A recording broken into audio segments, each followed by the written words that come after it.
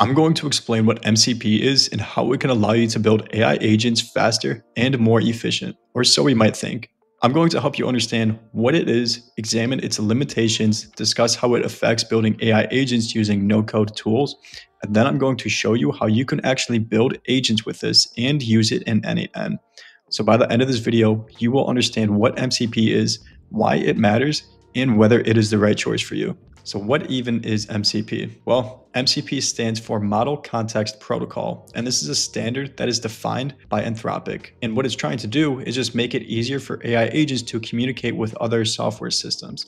So despite some of the hype that you may have heard that's surrounding this topic, MCP really isn't a new technology. It's simply just a set of rules for APIs to follow that makes it easier for AI to interact with them. So I know that's a lot, but let's dive into that a little bit further.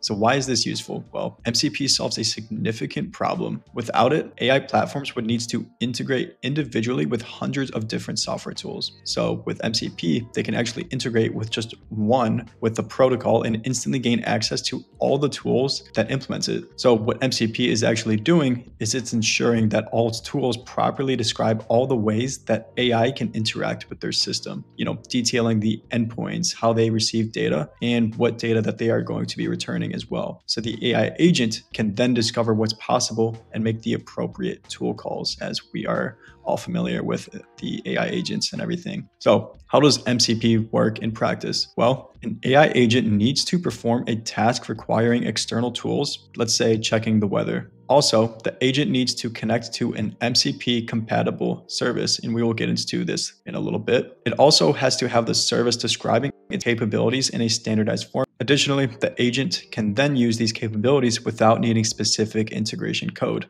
So it's been compared to a USB-C port for AI applications. Just as USB-C connects various different devices in a standardized way, MCP helps connect AI models to different data sources and tools using just a single standard, if you will. Really quick, before we go on, I just wanted to mention that if you're looking to get a more hands-on approach to learning everything it is about AI and also get access to all of my resources and templates, weekly office hours with my team, in-depth tutorials on advanced topics, even technical help, and how you can find clients doing all of this stuff and using AI, selling AI, or just how to implement it into your own business, then check out our community. Link for that is down below. But let's go ahead and get on with the video. So let's discuss the limitations of MCP. Well, while MCP does sound pretty promising, there are some significant limitations that we do need to consider before actually jumping in. So the first one, MCP is stateful, not stateless. So this is perhaps one of the biggest issues. And I really just want to mention that this is all pretty much theoretical. So MCP, it does require server sent events and maintains a stateful connection between the server and the client. What does that mean? Because it's all probably sounding like gibberish, I bet. Well, we could think of it like having a phone conversation instead of text messages. So with a phone call, you know, this would be the stateful example. You need to stay connected the entire time. So most modern web services, they prefer stateless, however, you know, stateless connections, which are more just like these text messages. So you send a request, you get a response and the connection then closes. MCP needs to keep the line open, creating technical challenges as you might expect naturally. Number two is you can't use serverless functions. So because MCP requires those, you know, those stateful connections, you can't just deploy it in serverless environments. So serverless functions are like pop-up shops that just appear when needed and disappear when the transaction is complete, saving costs and resources. But since MCP just needs that phone call style connection, it can't really work with these serverless functions. And it's forcing the developers to use more resource and, extensive server setups, which is super annoying. Number three is context window overloading. So when registering many different MCP tools with any particular agent, all those tool descriptions get added to the agent context window, which can overwhelm it. So you could think of this like trying to make a decision while 20 different people are shouting different options at you. So the AI can just get confused and distracted from the original task, which is just going to mess some things up naturally. Now let's go over MCP versus HTTP requests for AI agents, because this is really what it stacks up against. So either we're going to go with MCP or we're going to go with some HTTP requests to make these calls to our tools. So in the HTTP request, we have to actually input and learn documentation. With MCP, it's just setting up everything inside the server. So some of the pros when it comes to actually using using HTTP requests is it works everywhere, it's well established, it's stateless, and it can use serverless functions. The cons, however, is it requires understanding different API documentation for each service. As I mentioned, it often needs complex authorization setups and it requires writing unique prompts for each tool. So you've definitely experienced it before. I experience it all the time. It's just an extra step to set up those HTTP requests and really tweak whatever tool you're using to ensure that you're making those calls properly. It's a super annoying thing that, you know, I wish we didn't have to do. And this is kind of something that MCP is solving. So some of the pros of using MCP is it has a standardized format, easier tool discovery, it's consistent data structure, and potentially less prompt engineering. The cons, as I've discussed earlier, going over the limitations, it requires stateful servers, its deployment complexity, there are security concerns, and not all services have MCP implementation yet, which kind of sucks. But for practical uses right now, HTTP requests, they're definitely going to be more reliable and production ready, I would say, especially if you're dealing with services that just don't have MCP implementation yet. But on the other hand, if you're building a simple agent that just needs access to MCP compatible tools like web search, Google Maps, calendar, whatever, the standardization benefits might just outweigh the implementation challenges. So I would really just recommend for doing this for maybe internal use or maybe testing. So now that you actually understand what MCP is, its limitations, and why you may want to use it, why you may not want to use it, I want to show you how you can actually install this within N8N. It's going to look a little bit different for all of you because I will advise you either need to have, I believe, the highest Pro plan or one of the higher Pro plans uh, starting around $60.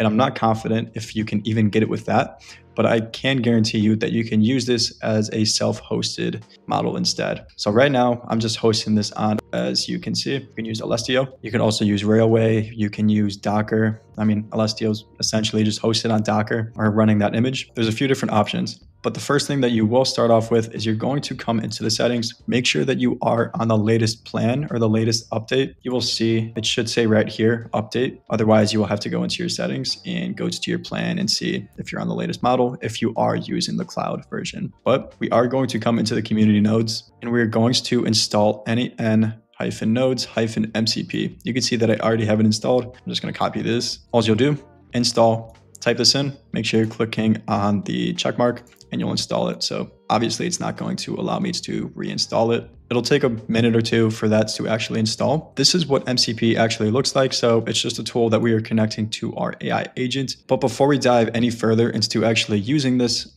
I want to show you the further steps that you will have to take to actually implement this because it's going to be more than just installing it through the community nodes. The first thing, if you are using Elestio, or maybe you're using Railway, or maybe you're using Docker, you will have to find your terminal. We're going to have to use the shell. We're going to open up the terminal and I'm going to rely on the documentation. I shall put a link for this down below in the comments or in the description. But we're essentially on GitHub and we're going to get the documentation for trying to install this on our terminal. So what we're going to do is we are just going to go into npx and we're going to copy this right here. We're going to copy this. We're going to go into our terminal. First things first, we're just going to type out npm install hyphen g, and then we're just going to paste in exactly what we copied. So it's probably not going to work properly because I already have this installed, but let's see what happens. So you may have to do some tweaking if this does come up for you. And in this case, what we're going to type out is sudo apt install node.js npm.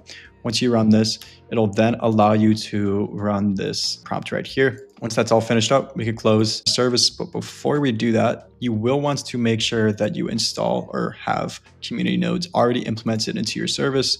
You may or you may not, but if you go into this update config, we're just going to come down here and we're going to make sure that we have this set as true. If you don't have anything that says N8N community packages, just copy this, pause the video and input this into your config. So it's just going to be N8N underscore community underscore packages underscore allow tool usage set that to true. You know, you could just put that down here. I put it on line 38. Then you're going to update and restart. And this is going to allow you to actually run these different nodes. The last part, I promise this is the final part of the setup, is going to just be connecting your credentials. Now, if you browse around in GitHub, you will find that there's going to be different tools that currently work for N8N. One of them being Brave Web Search, which is probably just going to be the most popular, I would imagine. And then we have Brave Local Search, but allow you to explore this for yourself. What we are going to be using is we're just going to be using Brave Web Search. We're going to come into our search tab here, and we're just going to find up Brave Search API, sign up for an account. It's going to be completely free. I'm going to log in myself. Once we're all logged in, you'll just go to API keys, You'll go to generate a new one and you'll hold on to that for a second. What we're going to do is we're going to come back into N8N. We're going to set up our credentials. Of course, I should probably back up and show you. We are going to grab MCP. So this should be a node that is appearing within your N8N. If it's not, then rewatch the video. Make sure you're following all these steps properly because you have to make sure you're following them to a T. So there's going to be the MCP clients tool, and there's also just going to be the node. So if you could see the uh, two different options there. So we're going to search the tool for the time being. Now, you can refer to the documentation or you can just pause the video. We're just going to copy this NPX right here. So first things first, the command is what we need to grab. We need to grab this Y and then also the string right here. So we're just going to copy this once again. We're going to come into here. We're going to type out npx hyphen y, type out that string. Now in the environments is where you are going to be putting your API key. So you just grab Brave API key, you put that in the beginning. So it should look a little bit something like this. Brave API key, and then you could hit enter and then put your API key in. So I'm not going to redo it and I don't want to show off my API key. So now let's get into how we can actually be using this for AI agents and making them more efficient. So if I pull this up right here, you can see I've already provided a prompt. Don't worry about that just yet. Essentially what we want to do is we want our agent, you know, instead of giving it access to some HTTP node, we're going to give it access to those two different tools, the local web search and the other web search. And then we wanted to actually execute one of those tools. So it's going to be just bam, bam, bam. We're just going to do one after the other. So I'll give you a quick example. If we're trying to run something, I'm going to say, I am starting a new business. I want to sell AI automations and I would like you to search my competitors. I would like to do SEO using AI and also run ads using AI. We have secured Series A funding already. So see who my biggest competitors are that are doing well. So we're just going to try that, just brainstorm something off the top of the dome but let's see what it comes back with. Right away, you'll notice that it is first listing out the tools and then it's going to actually start executing it. So now that it's executing it, we should have a response back here in a few seconds. Of course, You'll also notice that we just attached a chat model. We're always going to be needing that. I found some valuable information about your competitors in the AI automation space, specifically focusing on SEO advertising. Here are some notable mentions. Eight AI SEO tools we absolutely love using in 2025, 24 best AI SEO tools and how to use it 2025. So this isn't too great of an example, but it is providing some of my competitors, just not as specifically as I would have hoped.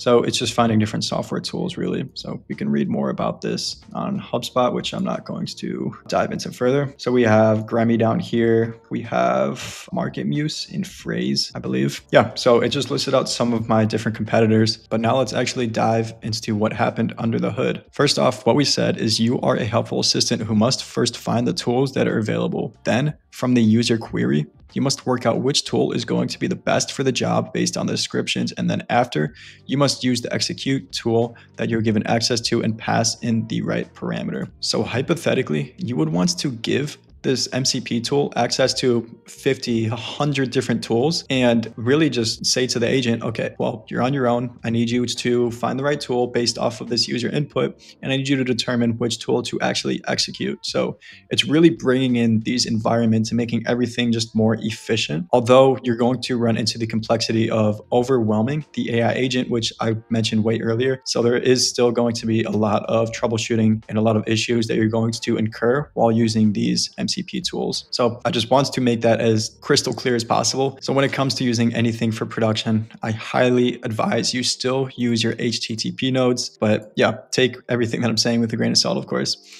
Do everything. But anyways, if we're showing off the MCP execute tool, all we're saying is from AI input selected tool. And then instead of typing this expression out, if you have watched my previous few videos, all you have to do is just press this little magic button. You know, I still haven't found a good name to describe that button. I'm just going to call it the magic button. And it's just going to define the expression for you. So you're not going to have to do anything. But in any case, I really just wanted to show off MCP for you guys because it's a new trend. And, you know, there's a lot of speculation on this being, you know, end all be all. And I'm sure within the next week, it's going to be especially overhyped. You know, just give it some time and you'll see. But I don't think everyone's going to mention the limitations that it actually has and why it may not be the best for production. And, you know, I could actually say right now it is not the best for production confidently. But I don't think all these other videos are going to cover that. So with that being said, hope you guys found some real value in this video. Go ahead and try this out for yourself. You know, explore some of the different tools that you can have access to. It's pretty cool. So go check it out for yourself. And I thank you guys for watching again. Like and subscribe. If you're interested in more videos like this, then drop it down in the comments. And if you are looking to get a more hands-on approach, learning stuff exactly like this in how you can actually build your own AI company, AI agency, whatever you want to frame it as, then check out the link below where you could join my community. And I hope to see you there. See you guys.